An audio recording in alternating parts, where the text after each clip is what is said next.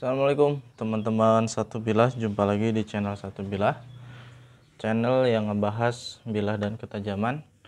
Oke di video kali ini kita akan mereview sekaligus membuat tutorial ya bagaimana cara mengasah pisau menggunakan diamond plate. Jadi ini diamond plate. Ini salah satu uh, media asah yang banyak digunakan jadi media asah itu kan ada batu asahan kemudian juga bisa pakai amplas dan juga bisa pakai ini diamond plate. Nah ini saya gunakan dua buah. Ini 400 dan grid 1000 1000 dan 400 kita akan coba asah dari mulai grid 400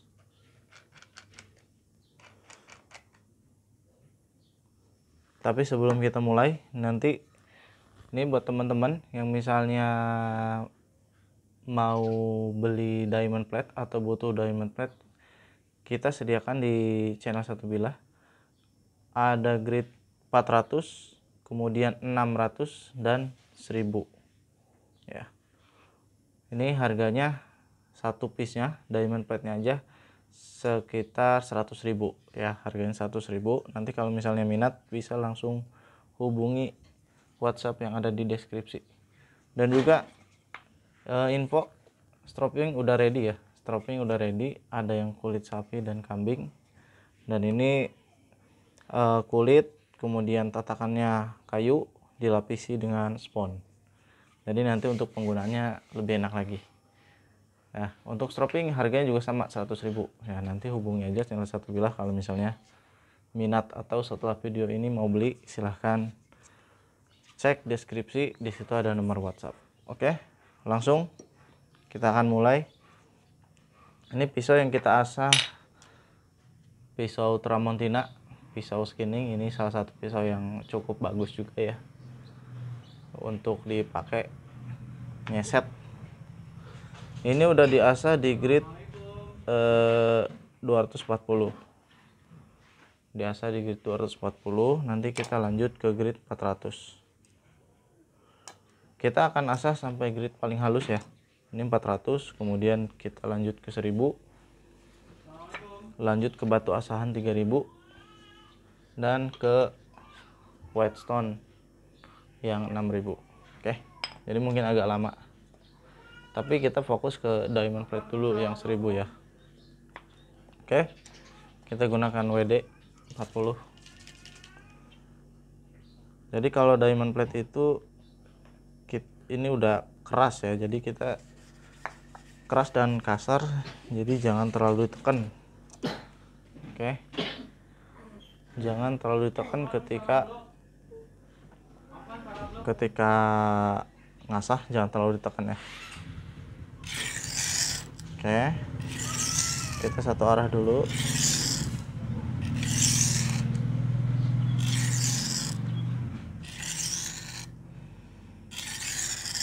Jangan terlalu tekan renggang aja. Ini pisaunya sebelum di grid 400 kita udah asah di grid 200 40 ya. Itu untuk membentuk mata bilah. Nah ini untuk melanjutkan mengasah atau menajamkan kita lanjut di grid 400 ya, jadi kenapa kok yang ada dijual ya yang grid 400 600 dan 1000 karena saya sarankan untuk grid kasar grid 240 itu pakai batu asahan aja. Kalau nggak pakai amplas. Itu untuk membentuk baffling untuk membentuk mata bilah ya. Kita pakai teknik satu arah aja. Sebelum bisa bolak-balik atau misalnya teknik lain boleh ya. Oke.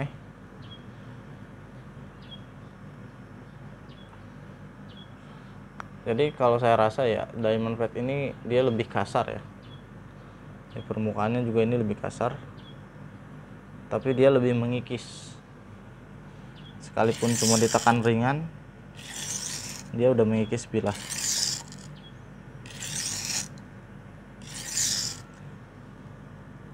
oke kita coba ya.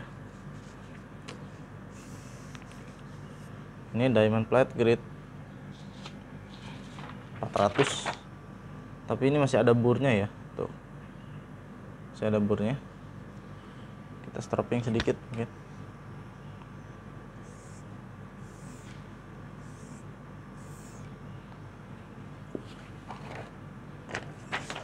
Oke kita lihat.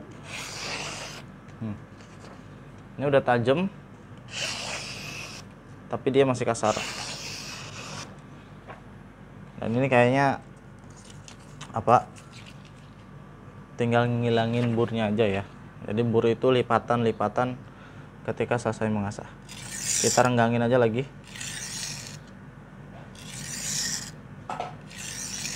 Kalau misalnya mau ngasah pakai teknik lain boleh ya. Misalnya seperti ini tekniknya. Ini boleh ya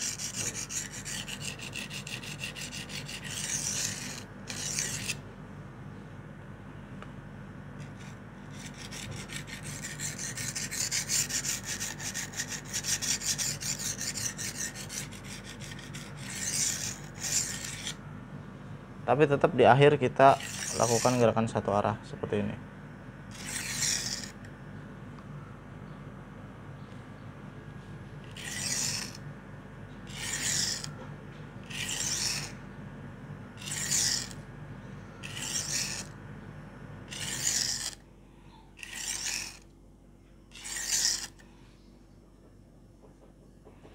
Oke, kita coba hilangin burnya.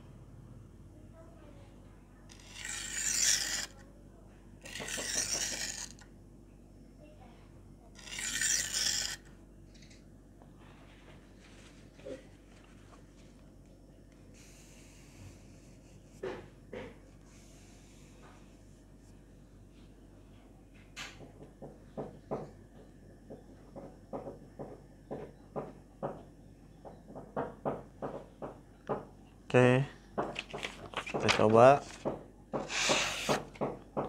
Ini udah dapat ya tajamnya. Tajamnya udah dapat, tapi dia masih kasar. Jadi intinya diamond plate itu sekalipun kita tekan ringan aja, dia udah mengikis ya.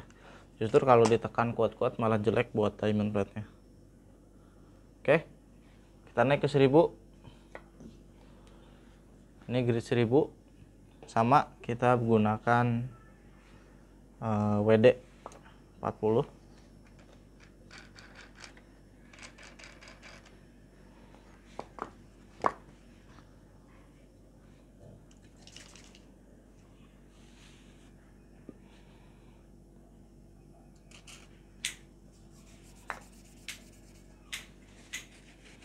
gerakannya sama ya satu arah satu arah aja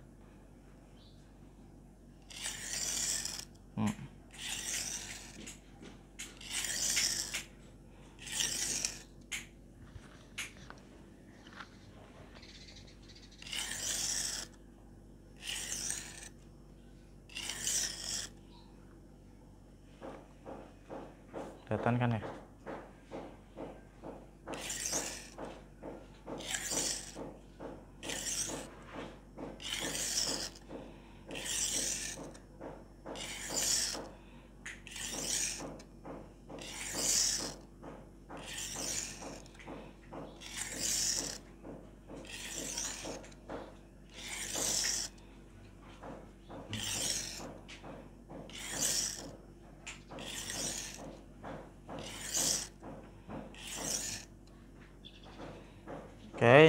Grade 1000. Ini sama ya, dia mengikis. Tuh, dia udah mengikis.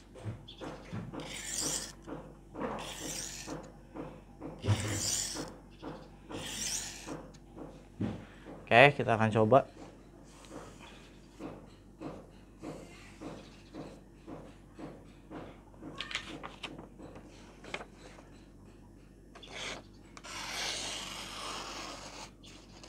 masih masih banyak burnya ya. Oke. Stropping sedikit. Ini harusnya stropping itu di akhir ya. Cuman ini karena kita lagi coba batu asahan.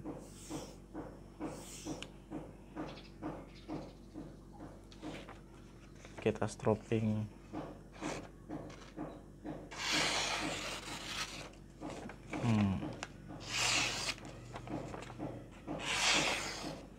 jadi dia tajam ya tajam menggigit.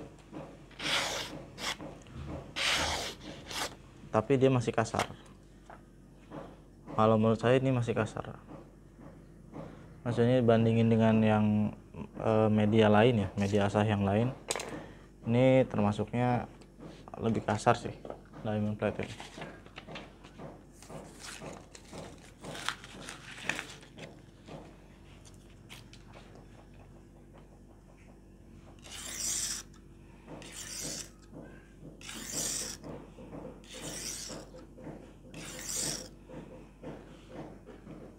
sama ya ternyata geser-geser.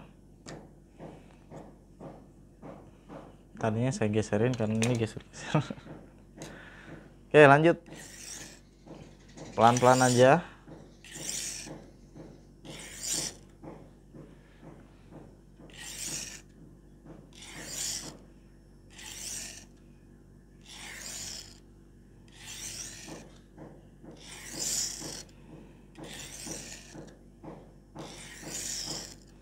dirasain aja ya dirasain.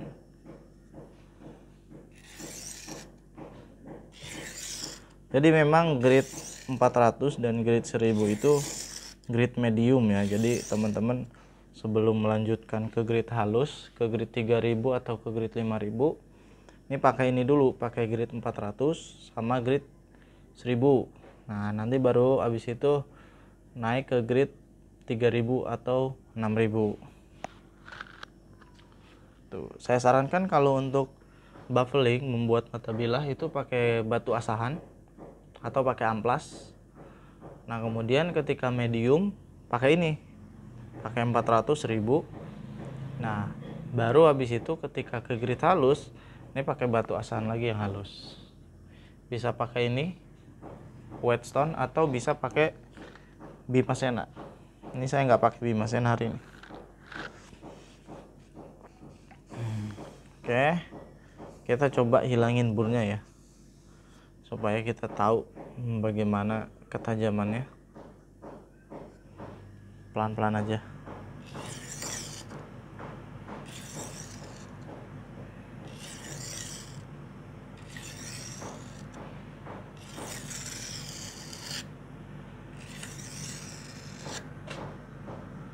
Oke, masih ada burnya.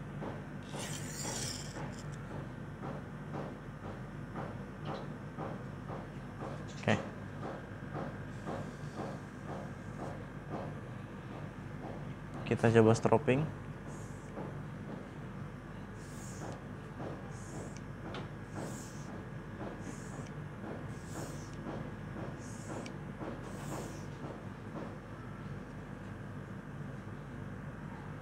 Udah hampir hampir nggak ada ya burnya hampir hampir nggak ada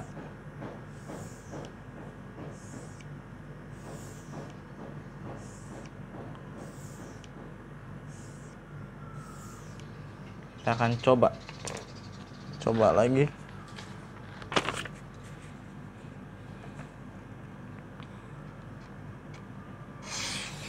hmm. ini dia tajamnya menggigit ya menggigit tapi masih kasar ya Tuh. ini kalau ditempel ini nancep banget tuh. tapi untuk e, mata bilah udah rata ya udah rata udah rapih ya jadi cukup bagus ya. Oke.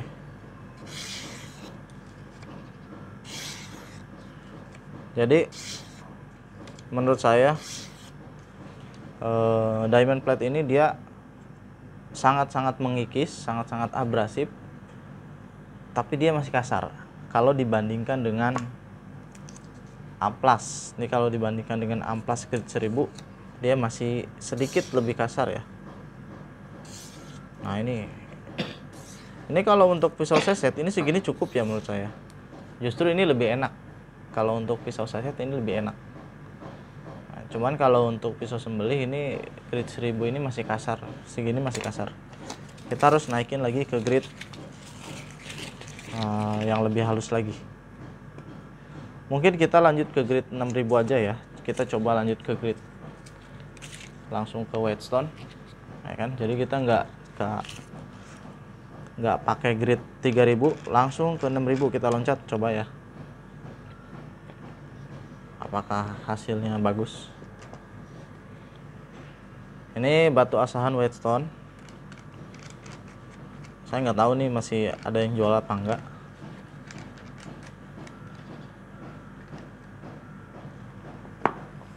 batu asahan yang super halus. Ini bagus kalau buat sembelih. Sedikit aja. Kita akan langsung gerus dari 1000 langsung ke 6000 ya. Ya kesimpulannya tadi ya kalau untuk ini untuk untuk diamond plate. Jadi dia abrasif tapi sedikit lebih kasar dari amplas. Oke, kita coba apakah enak.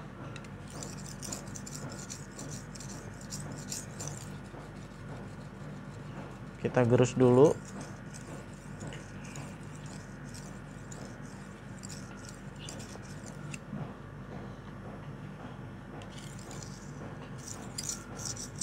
Kalau bagusnya sih mungkin ke grid 3000 dulu ya.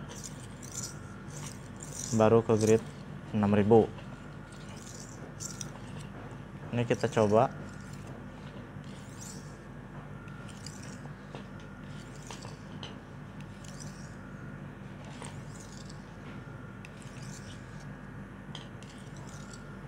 kalau saya biasanya kalau pisau seset pisau ini ya ini paling grade 1000 kalau enggak 3000 saya jarang pisau seset itu sampai grade 6000 biasanya kalau grade 6000 itu untuk pisau sembelih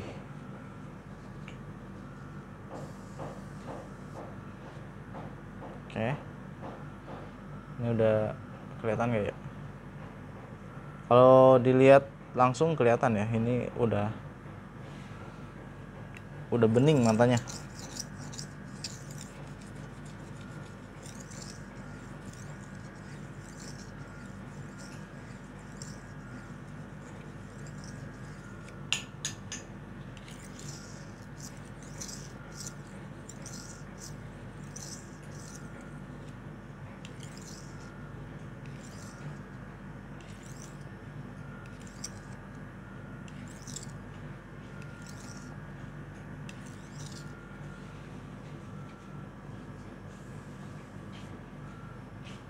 Oke, saya rasa cukup.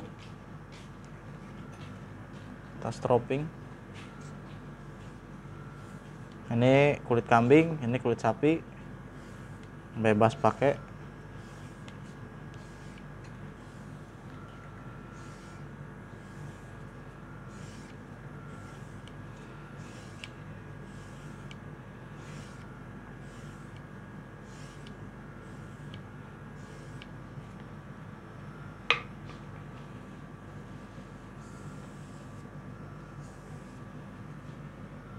Oke. Kita coba ketajamannya.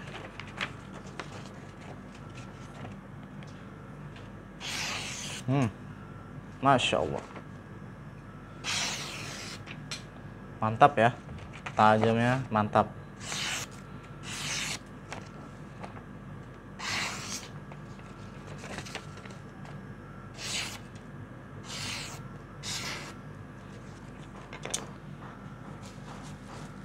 Saya nggak tahu nih kalau ke plastik bisa nggak? Kalau ke kertas mantap alhamdulillah. Kalau untuk pisau seset mungkin nanti kita coba asah pisau baja karbon ya. Ini kan stainless ya. Baja lokalan maksudnya. Coba kelihatan gak ya oh. nih di plastik. Sebenarnya ini cuma coba-coba aja ya. Kalau kalau misalnya kalau standarnya kertas aja udah cukup sebenarnya. Oke alhamdulillah. Ini unik juga dari grid 400 kemudian 1000 langsung ke grid 6000 6000 hmm. mantap oke cukup sekian mudah-mudahan bermanfaat ya. Nanti setiap nanti di channel satu bilah akan update. Jadi mungkin kita akan lengkapi buat teman-teman barangkali membutuhkan. Jadi golok sembelih kita coba uh, adakan. Kemudian pisau seset juga kita mau coba sediakan. Batu, batu asahan belum. Mungkin nanti uh, diamond plate dan stropping jadi ada golok sembelih, pisau sembelih, pisau seset, kemudian diamond plate dan stropping. Nanti hubungi aja eh, hubungi aja channel satu bilah. Kan apa aja yang ready, apa aja yang dibutuhkan. Ya. Oke, cukup sekian. Mudah-mudahan bermanfaat. Jadi itulah pengasah menggunakan diamond plate ya. Cukup bagus, lumayan. Oke. Jangan lupa like, subscribe dan share. Dukung terus channel satu bilah. Assalamualaikum warahmatullahi wabarakatuh